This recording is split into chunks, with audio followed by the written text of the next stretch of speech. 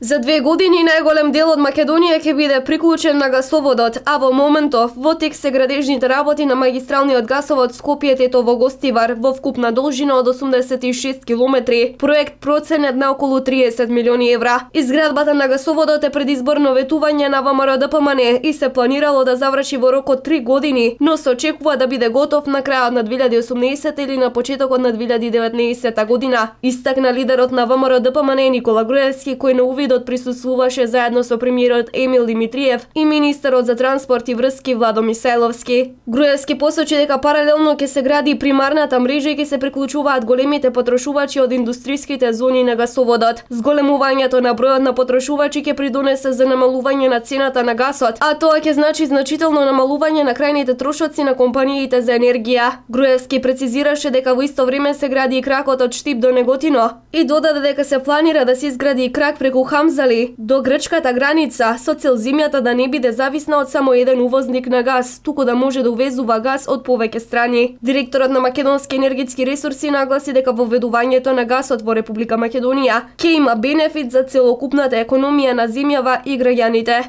Веќе од минатата година има забележително намалување на цената на природниот газ, бидејќи веќе количините се зголемуваат,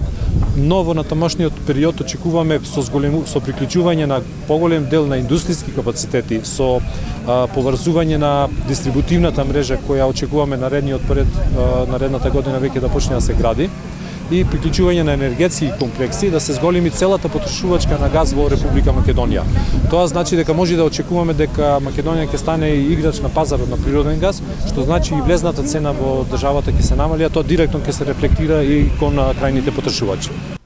Лидерот на ВМРО ДПМН Никола Груевски се обрати на својот Facebook профил каде напиша дека дури во овие моменти кога се отворени сериозни прашања и предизвици во земјата, суштински важни за незиното понатамошно постоење и начин на функционирање, ВМРО ДПМН се труди Македонија да оди напред и да го испораче тоа што го вети на народот и на сите граѓани, не делејќи ги боетничка, верска, политичка или било каква друга основа. Додека Заев работи на залажување на албанските граѓани со понуди од кои квалитетот на нивниот живот нема да се подобри, ВМРО ДПМН реализира конкретни работи и му возможува на македонците, албанците, турците, ромите, србите, бошњаците и власите во Полошкиот регион да добијат примарен гасовод за доток на природен газ. ВМРО ДПМН нагласува Груевски на сите граѓани им нуди многу конкретни работи кои ќе го подобрат животот, ќе ги намалат трошоците за домакинствата и компаниите, ќе го поттикнат бизнисот и ќе привлечат повеќе повеќе фабрики и капацитети кои ќе отворат нови работни места. Достапноста на газ ќе влие и за поеколошки чиста животна средина и директно ќе влие за намалување на загадувањето на воздухот. Истовремено тој ќе биде од корист за земјоделците кои со енергија од природниот газ ќе имаат можност по пониски трошоци да ги затоплуваат своите оранжерии. Реализацијата на ваквите и многу други проекти, остварувањето на политики кои се за граѓаните е и порака до сите кои сакаат да ја растурат земјата, дека нема да им се дозволи тоа,